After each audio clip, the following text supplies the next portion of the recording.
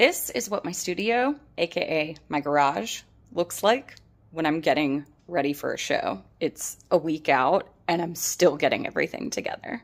Here you go. Don't judge me. And there is more inside the house.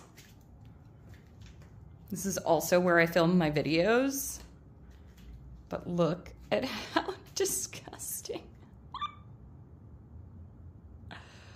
Oh my gosh, paintings varnishing, paintings still curing, paintings that have been varnished. Shout out to my husband for letting me use the entire garage.